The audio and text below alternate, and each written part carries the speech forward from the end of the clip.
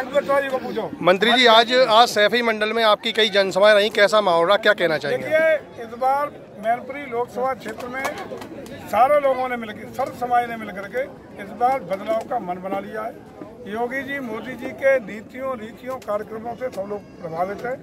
और यहाँ बदलाव की लहर नहीं, अब तूफ़ान में बदल गई है।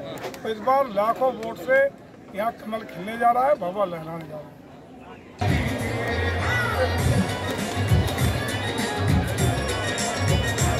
Boom.